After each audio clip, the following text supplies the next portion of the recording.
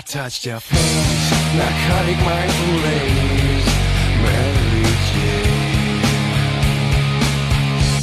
And I called your name, Michael Kidd.